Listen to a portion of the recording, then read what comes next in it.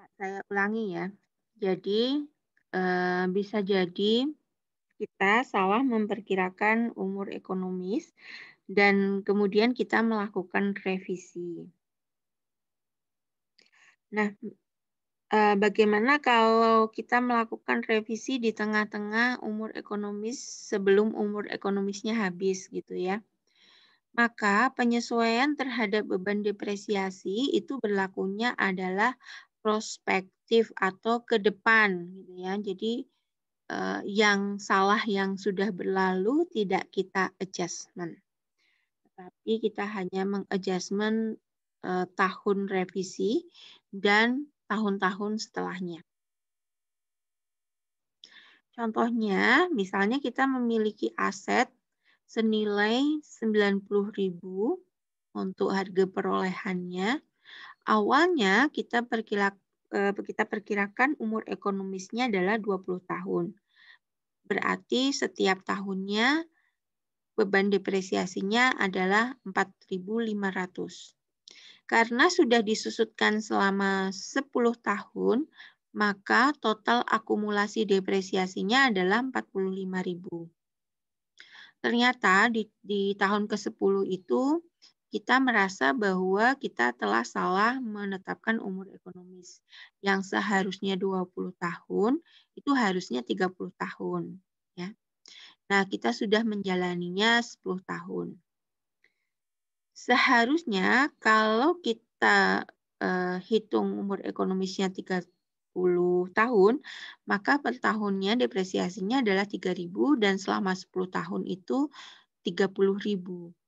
Sehingga di sini terjadi overvalued sebesar 1.500 per years-nya dan untuk 10 tahun itu kita kelebihan catat sebesar 15.000. Bagaimana nasib kelebihan catat ini ya? Kelebihan catat ini tidak kita uh, revisi pada tahun-tahun sebelumnya gitu ya, tetapi kita langsung perbaiki saja ke depannya. Caranya adalah uh, kita kurangkan dulu mesin, uh, harga perolehan mesin dikurangi dengan akumulasi depresiasi, maka nilai buku mesinnya adalah 45.000. Nah, 45.000 ini nantinya yang kita uh, sesuaikan dengan umur ekonomis yang baru yaitu sisa umur ekonomis 10 tahun ditambah dengan penambahan umur ekonomis karena revisi sebanyak 10 tahun. Sehingga per tahunnya untuk hasil revisinya adalah 45.000 dibagi 20 sama dengan 2.250 per tahun.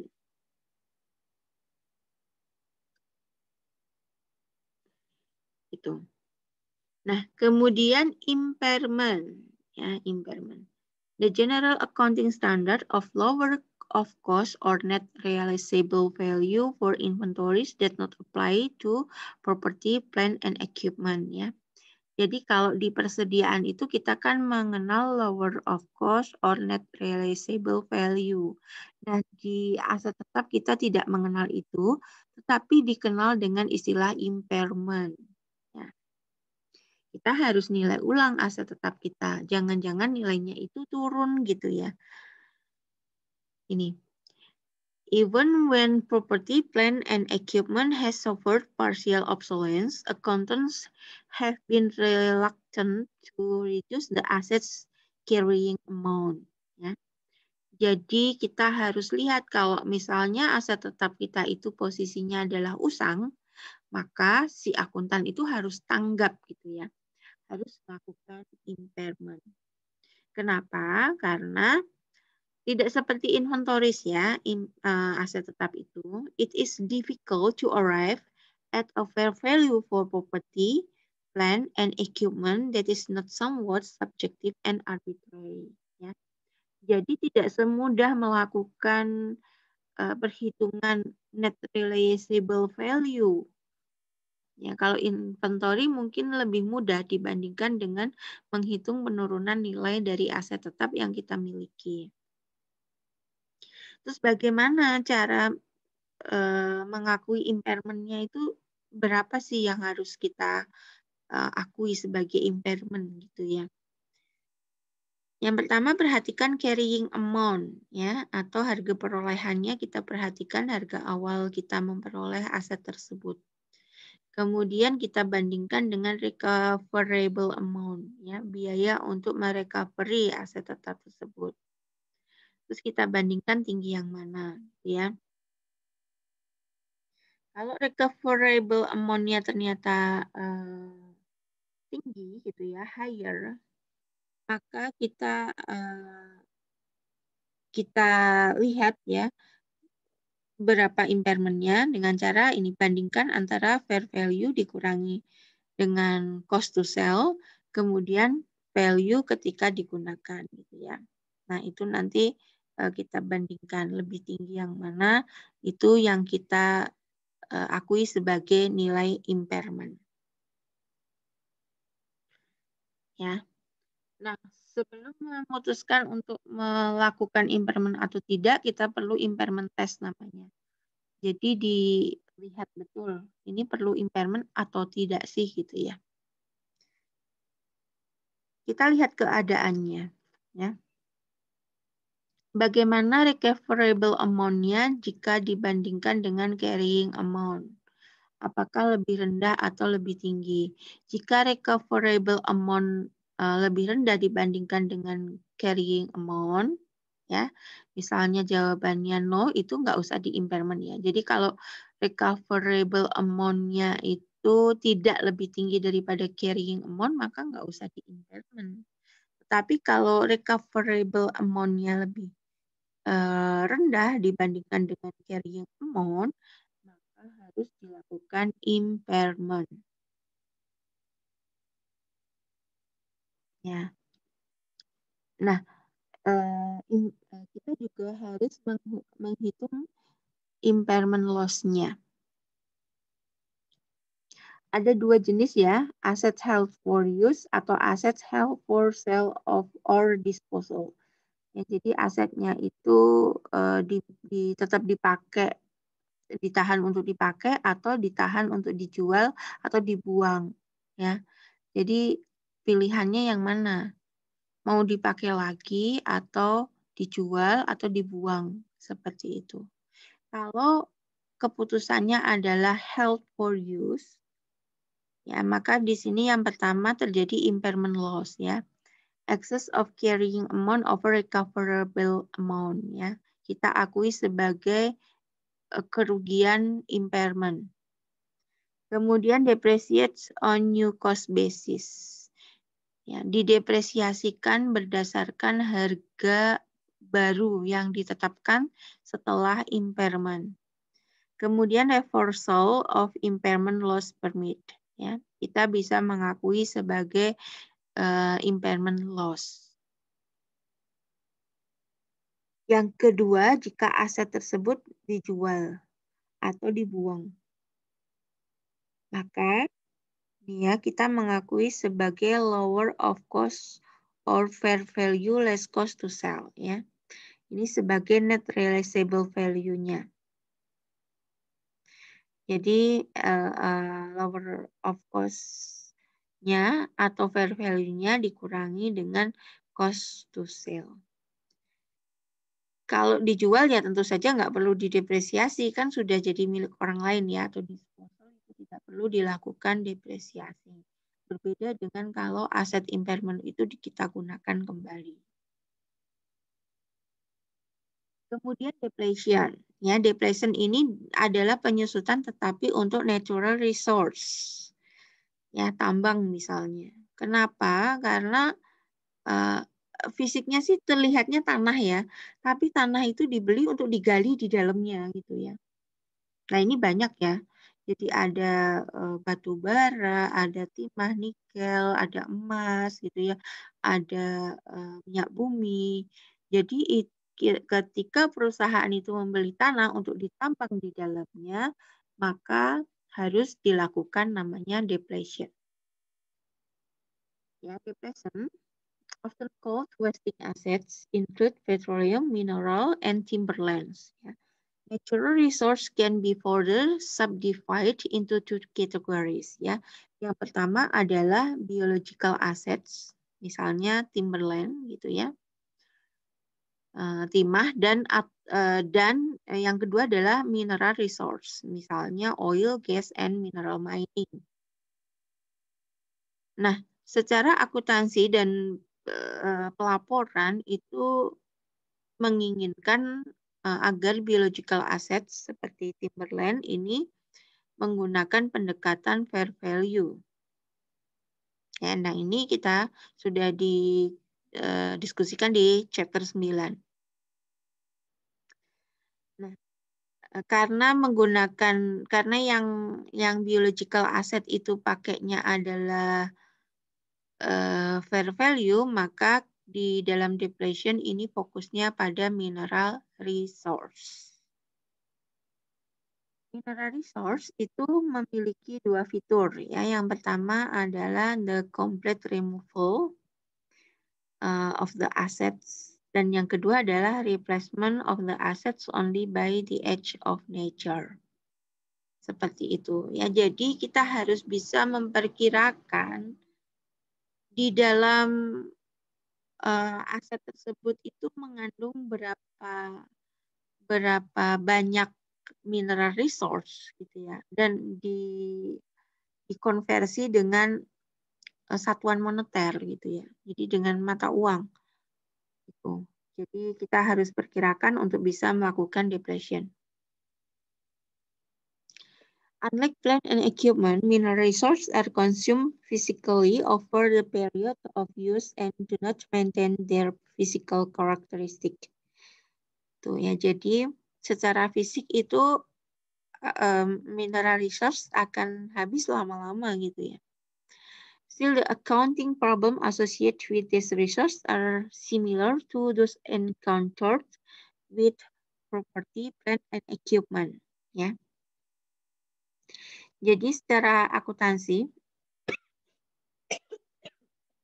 kita akan menghadapi eh, permasalahan-permasalahan yang hampir sama terkait dengan resource ini ya. Nah, pertanyaannya adalah how do companies establish the cost base for write-off yang What pattern of allocation should companies employ?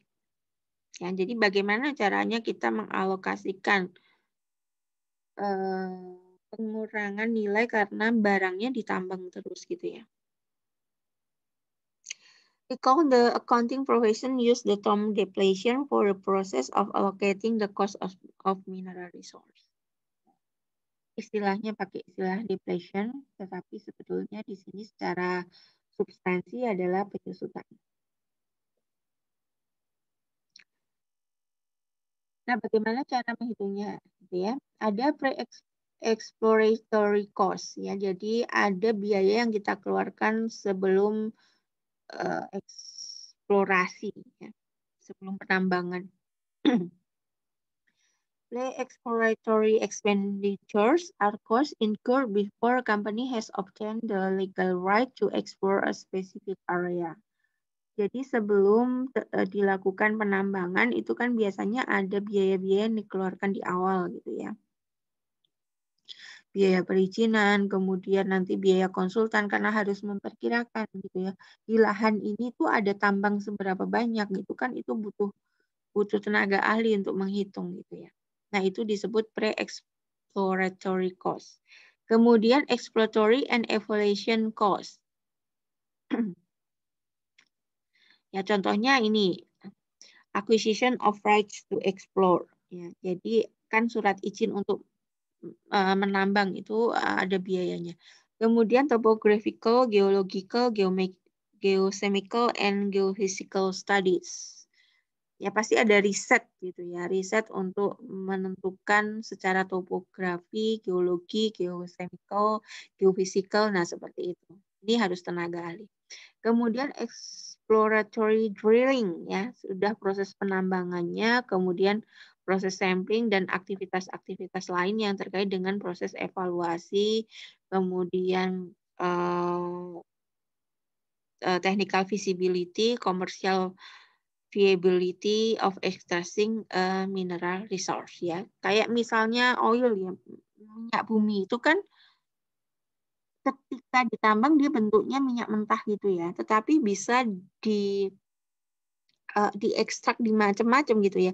Bisa jadi blue bisa jadi aspal, bisa jadi minyak tanah, bisa jadi uh, bahan biji plastik seperti itu. Jadi sekali menambang ya untuk minyak bumi itu ternyata bisa menjadi banyak bahan gitu.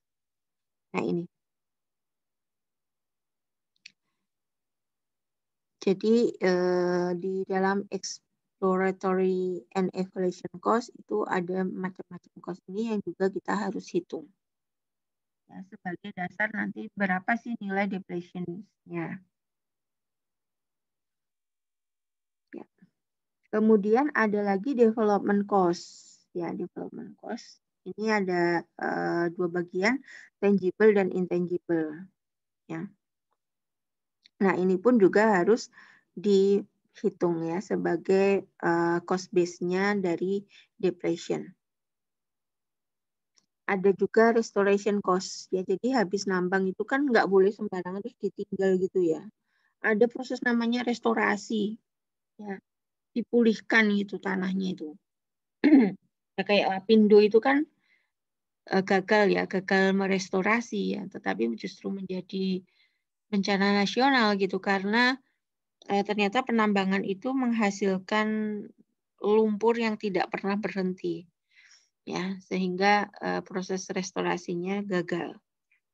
Nah, ini juga harus diperkirakan. Kemudian write off of resource cost. Ya, penghapusan dari biaya uh, sumber daya. Ya, caranya total cost dikurangi residual value dibagi dengan estimate unit available.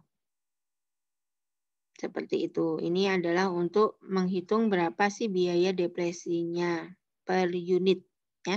Jadi dari tiga jenis biaya itu nanti dikurangi residual value terus ditambah dengan total estimate unit available. Jadi berapa sih uh, sampai selesai penambangan itu menghasilkan berapa banyak barang tambang ya. Maka akan kita dapatkan nilai depletion per unit. Nah, nanti tinggal dalam dalam satu periode akuntansi dia berhasil menambang seberapa banyak seperti itu. Nah, itu nanti yang dijadikan uh, depletion cost-nya ya. Kemudian mengestimasi recoverable resource ya, diestimasi. Jadi kita, uh, untuk perusahaan-perusahaan Eh, penambangan seperti ini harus bisa melakukan estimasi terhadap uh, aset yang ditambang gitu ya. Casing. Jadi banyak professional adjustment di sini. Yang pertama kita harus bisa mengadjustment berapa, memperkirakan berapa banyaknya bahan tambang yang ada di dalam uh, natural resource tersebut. Kemudian kita juga harus bisa memperkirakan uh, recoverable reserves-nya berapa. Karena nanti itu akan menjadi dasar penghitungan juga di dalam depresi ya. Ya, sebelum ke liquidating dividen ada pertanyaan?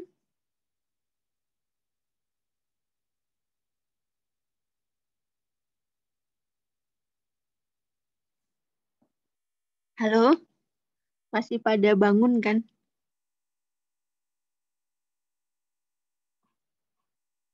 Halo, halo.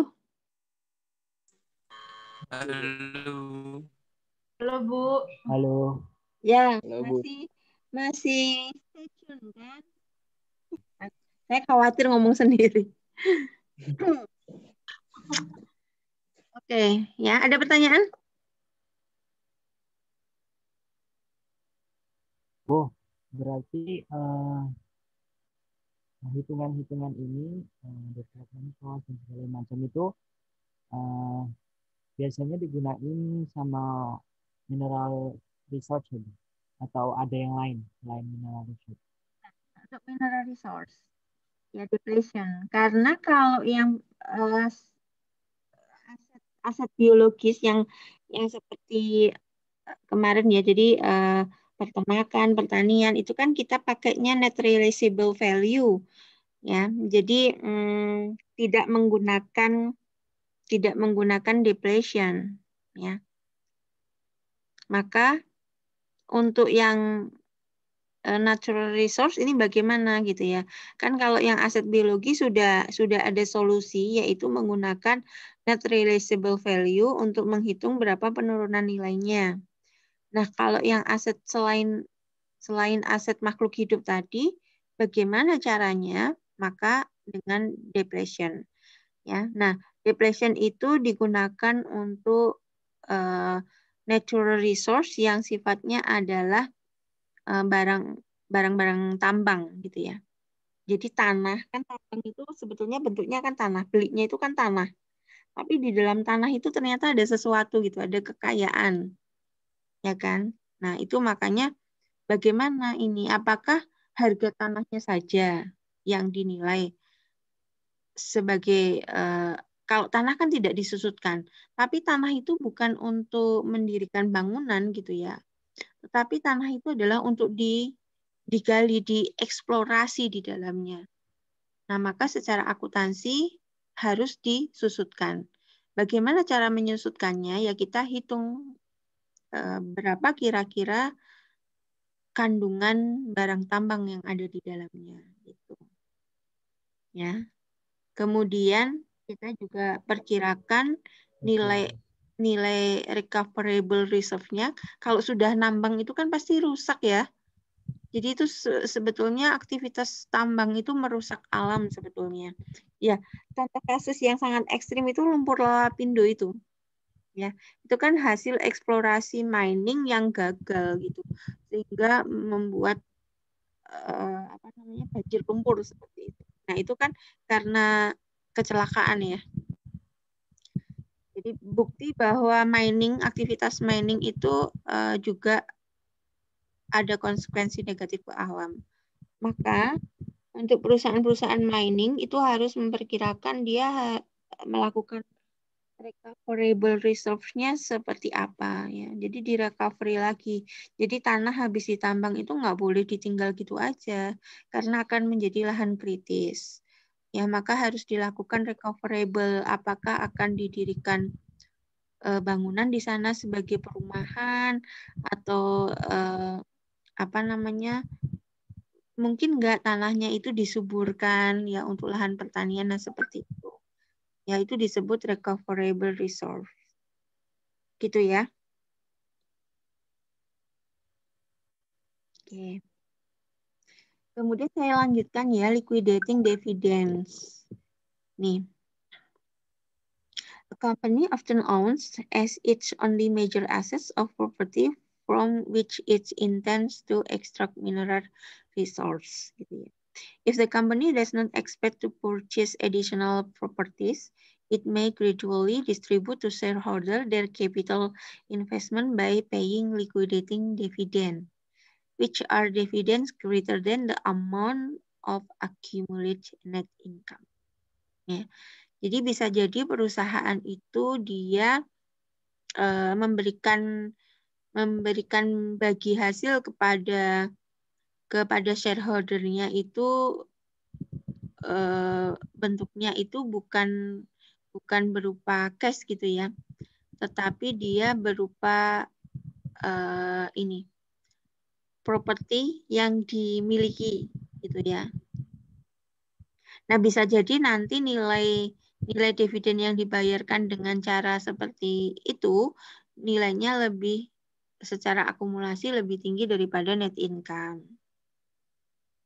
Ya, nah keputusan ini secara akuntansi juga menjadi masalah sebetulnya ya. Karena kita harus bisa membedakan antara dividen yang eh, berasal dari capital dan yang tidak berasal dari capital ya.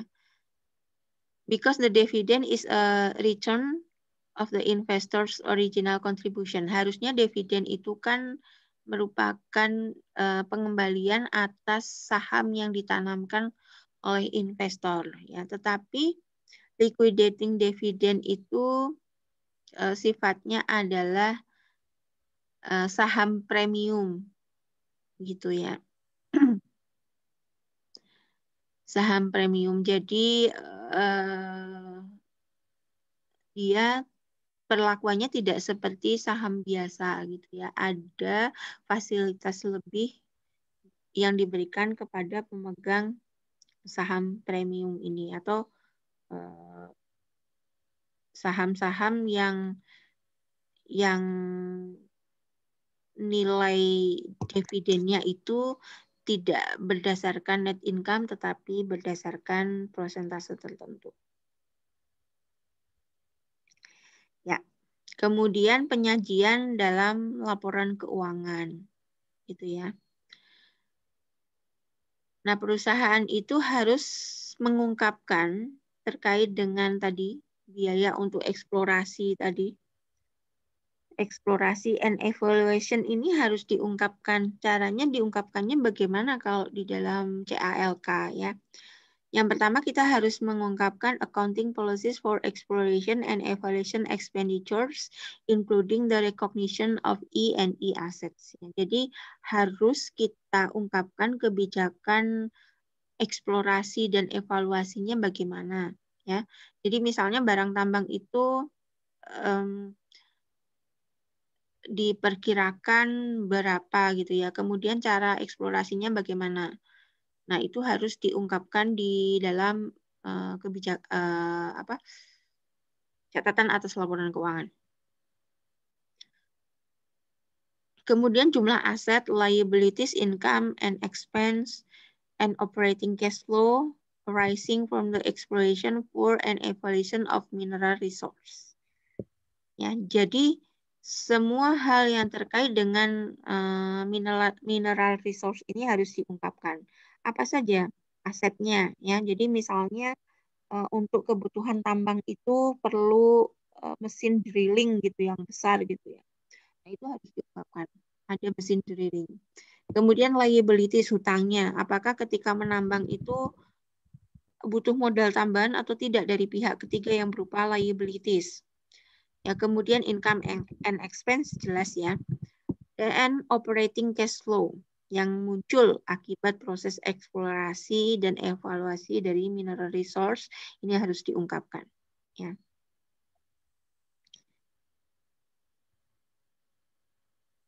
Ya, kemudian revaluation ya. Jadi menilai kembali aset tetap yang kita miliki.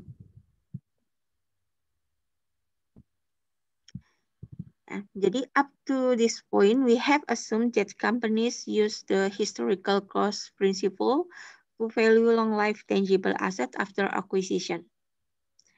However, company have a choice. They may value these assets at cost or at fair value. Jadi, uh, ketika aset dimiliki dalam jangka panjang, itu bisa saja aset tersebut berubah nilainya ya. Nah, secara IFRS perusahaan diberikan dua pilihan ya. Boleh mencatat secara berdasarkan cost-nya atau berdasarkan fair value-nya. Ya. Nah, biasanya yang di, banyak dilakukan revaluation adalah land ya, karena kita tahu tanah itu semakin eh, tahun itu semakin naik nilainya. Ya. Bagaimana cara mencatat revaluation untuk land?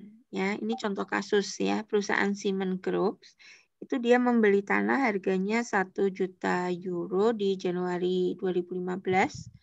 Kemudian eh, pada eh, pada akhir Desember 2015 itu ternyata fair value-nya berubah ya menjadi 1.200. Maka ada tambahan 200 di sini. Nah, tambahannya di jurnalnya bagaimana? Yang pertama debitnya adalah land, tanah, karena nilai tanahnya menjadi 1.200. Berarti kita tambahkan 200. Nah, kreditnya adalah unrealized gain on revaluation pada land. Gitu ya. Karena memang ini sebetulnya keuntungan yang tidak ada secara fisik uh, uangnya ya, tetapi terjadi karena ada penambahan fair value dari aset tanah yang kita miliki.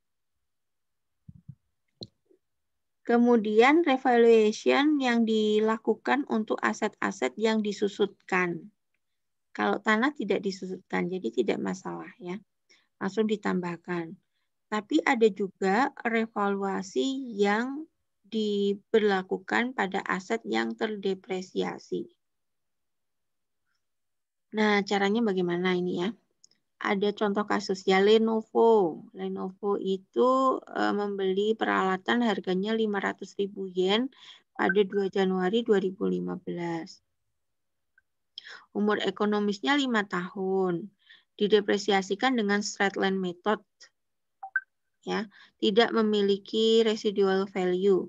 Lenovo memilih uh, memilih untuk menggunakan fair value pada equipment-nya. Ya, Lenovo mencatat biaya depresiasinya adalah 100.000 yang didapatkan dari 500.000 dibagi 5 pada Desember pada 31 Desember 2015, maka jurnalnya adalah kita catat ya. Depresiasi per tahun uh, debitnya Beban depresiasi kreditnya adalah akumulasi depresiasi pada peralatan sebesar 100.000. nah, seperti itu ya. Jadi eh, ini adalah revaluasi untuk aset yang disusutkan. Kemudian eh, penyajian dan analisis ya. Apa saja yang perlu disajikan di dalam CALK terkait dengan uh, aset tetap yang kita miliki. Iya, jadi harus yang di uh, disclose ya atau diungkapkan itu adalah basis of valuation ya.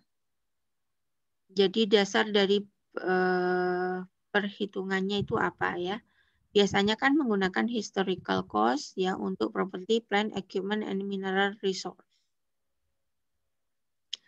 Ya, kemudian kalau misalnya ada proses revaluasi, kemudian impairment itu juga harus diungkapkan ya. Kemudian ini ya, depresiasi ya. Jadi metode depresiasi yang digunakan itu apa? Itu juga harus diungkapkan. Termasuk umur ekonomisnya ya. Kemudian kalau asetnya adalah mineral resource, maka kita juga harus mengungkapkan depresinya ya, depleting mineral resource itu juga harus diungkapkan. Kemudian analisis yang diungkapkan apa saja? Yang pertama adalah asset turnover. Ya, ini ada di mata kuliah manajemen keuangan ya. Rumusnya adalah net sales dibagi average total assets. Kemudian profit margin on sales ini juga harus diungkapkan. Ya, rumusnya net income dibagi net sales. Kemudian ROA, ya profit margin on sales dikali dengan asset turnover. Kemudian uh, ini uh, net income dibagi dengan average total asset. Ya, oke. Okay. Nah ini adalah terkait dengan aset tetap. Ya, jadi yang harus kita ingat adalah bagaimana aset tetap tersebut disusutkan, kemudian bagaimana perlakuan untuk aset tetap yang uh, berupa barang tambang, kemudian bagaimana aset tetap itu diungkapkan di dalam laporan keuangan dan dianalisis. Nah, itu adalah inti dari materi kita di chapter 11. Oke, ada pertanyaan? Saya mau tanya, Bu. Ya, silahkan. Uh, tadi kan Ibu ini ada apa menjelaskan tentang penyajian pada laporan keuangan. Ya. Itu tadi kan ada dua ya Bu. Yang pertama itu tentang kebijakan akuntansi untuk biaya eksplorasi dan evaluasi. Terus hmm. yang kedua itu ada jumlah aset, liabilitas, pendapatan dan beban dan arus kas. Nah, tadi kan ini Bu, e, Ibu tadi mencontohkan tentang barang tambang ya Bu. Ya, tadi tadi kan Ibu kan menjelaskan kalau barang tambang itu bisa diperkirakan baik itu dieksplorasi maupun dievaluasi. Kalau uh, kasusnya gini Bu, misal di perusahaan itu uh, saat mencatat laporan keuangan mencatat laporan keuangannya itu mengalami ini Bu, apa kesalahan. Nah, itu gimana Bu caranya memperkirakan uh, pencatatannya Bu saat dieksplorasi saat dieksplorasi dan dievaluasi? Ya. Contoh gampangnya Lapindo ya. Lapindo. Jadi Lapindo itu contoh bagus ya untuk um, uh, chapter 11 ini.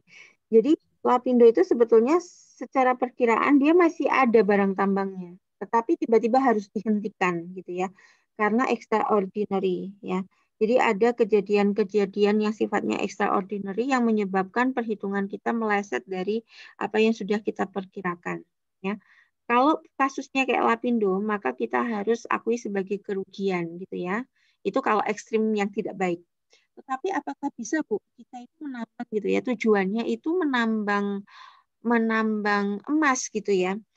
Tapi ternyata ketika proses tambang gitu ya, karena kita hanya memperkirakan di dalamnya itu hanya ada emas, ternyata ada barang tambang lain gitu. Apakah itu bisa uh, diakui sebagai uh, aset juga?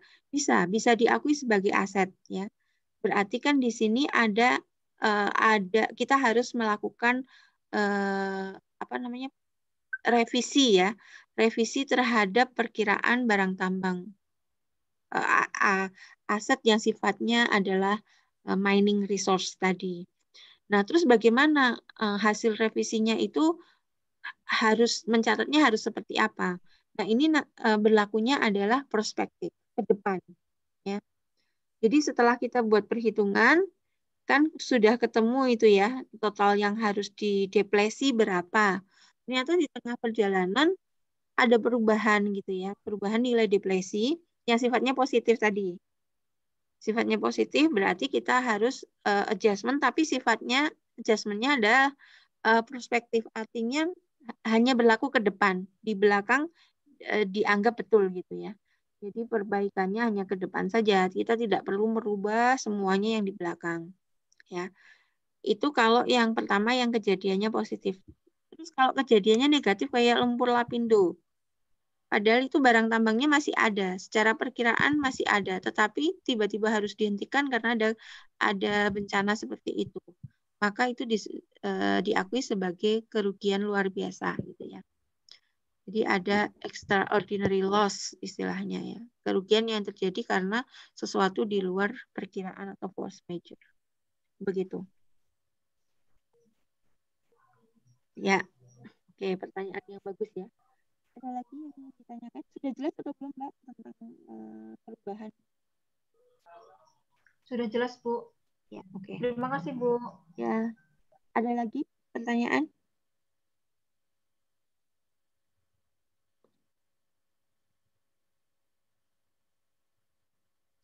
Oke, kalau tidak ada pertanyaan, silakan dikerjakan ya uh, untuk tugas di uh, chapter 11 ini. Itu ya. Udah nggak ada? Kalau tidak ada, kita tutup dengan membaca hamdalah bersama-sama. Alhamdulillah. Ya. Terima kasih sudah uh, bersedia berdiskusi malam-malam terkait dengan chapter 11. Semoga ikhtiar kita ini mendapatkan uh, ridho dari Allah Subhanahu wa taala dan dicatat sebagai jihad ilmu ya. Terima kasih. Assalamualaikum warahmatullahi wabarakatuh. Waalaikumsalam warahmatullahi wabarakatuh. Waalaikumsalam warahmatullahi wabarakatuh. Warahmatullahi wabarakatuh.